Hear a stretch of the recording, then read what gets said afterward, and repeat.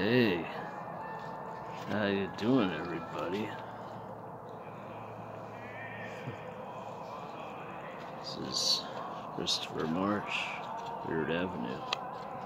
How you doing? Spooky night tonight. All Hallows Eve, Eve.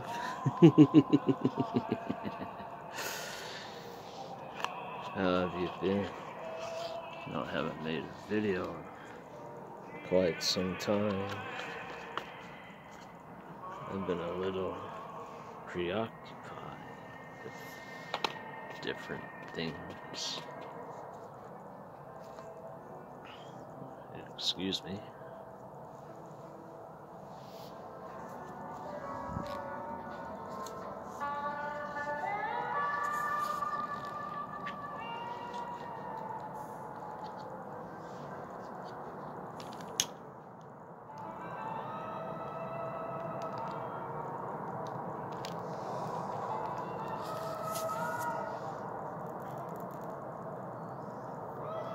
So,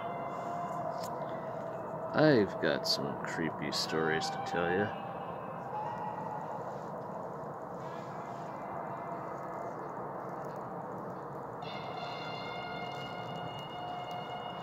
What I'm about to tell you is true. Everything that I'm about to tell you is true. And I do mean everything.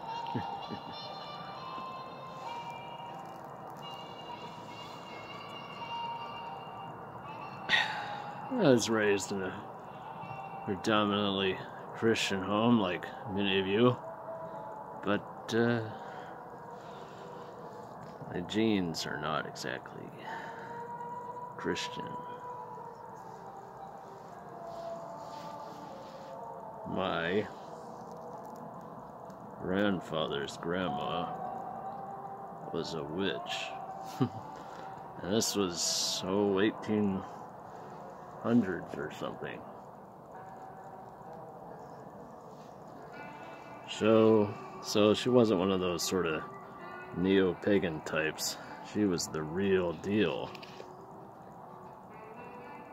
So she practiced witchcraft astrology and all that kind of stuff.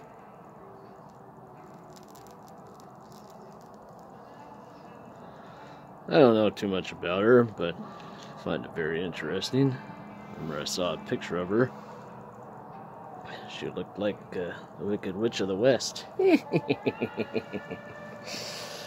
anyway, so, was on my father's side of the family. And my great grandpa Royer, my mom's grandfather, was a heretic. He was visited by a spirit who told him something about stay in the light or something like that. so, Sometimes when he'd go to church, he'd stand up and argue and yell and say, That's all crap, blah, blah, blah, blah, blah, blah, blah. And I guess people didn't like that. Anyway, but uh, my grandma and grandfather were Christians, so apparently Grandpa Royer's philosophy didn't stick with them. So,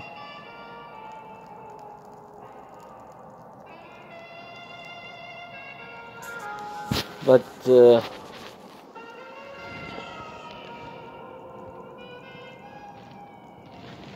some uh, peculiar things happened. My great uh, grandfather's funeral. Apparently,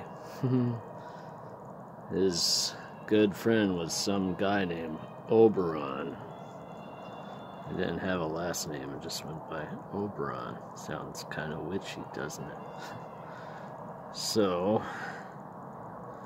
and his last words were, I may be gone, but I can still see the light.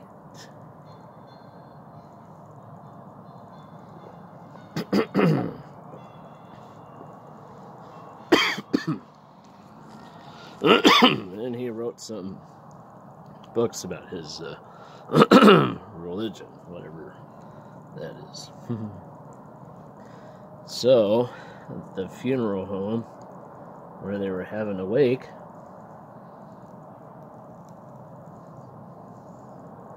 my Uncle Stanley went there, and apparently there were paintings flying off the walls and dishes smashing into things and chairs falling over and plates flying into the wall and paintings falling down and windows cracking and other strange stuff.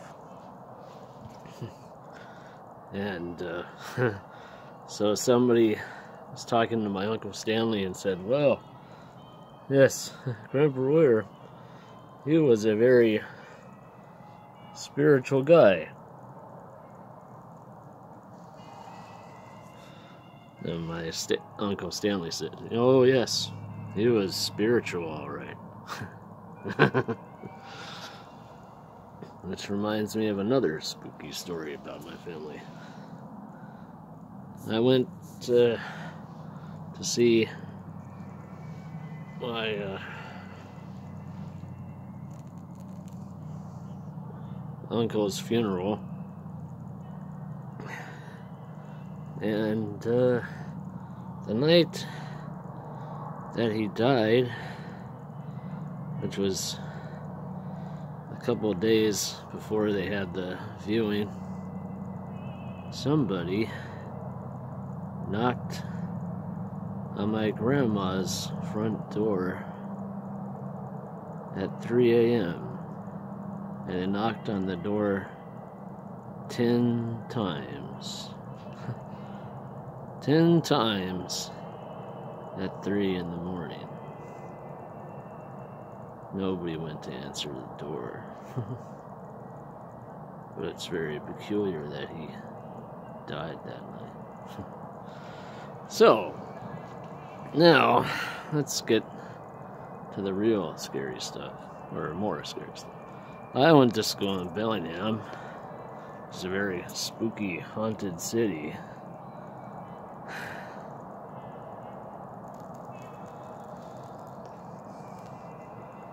Ted Bundy used to hang out over there. Used to hang out at this place called the Waterfront, along with the Hillside Strangler. Hillside Strangler also hang out, hung out there, and. Uh, Apparently Gary Ridgway used to hang out there. And the DC sniper hung out there too. And Bellingham is a very strange place. You don't want to be there when it gets dark. The whole place takes on a creepy, ominous feeling. There's definitely a scary foreboding feeling out there. Now, I've walked the streets around New York City and LA before by myself and I felt safe and I was fine. But I walked around Bellingham at night and there and even though it's a pretty safe place, I felt pretty scared. Could sense that there was somebody walking around behind me even though no one was there. So, and I stayed at an apartment. And one night, of course I stayed at an apartment, I stayed at a few, few apartments, but this one night, there was this one apartment I stayed at. And it was a dark, stormy night. And a white light came out of my phone for no reason. Made some funny sounds. And then the storm was like... And the radiator started shaking. And then I heard a crackling. and I heard moaning from the hallway. That was like,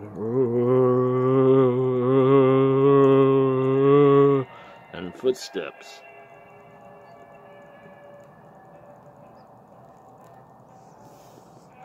I had no idea what it was.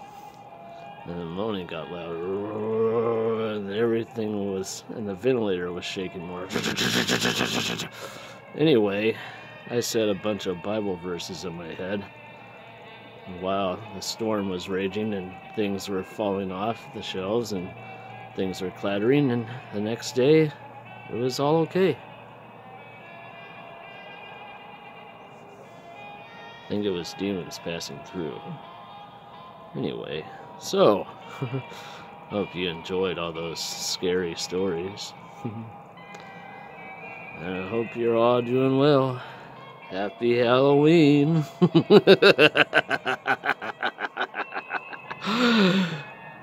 Ta ta. Bye bye.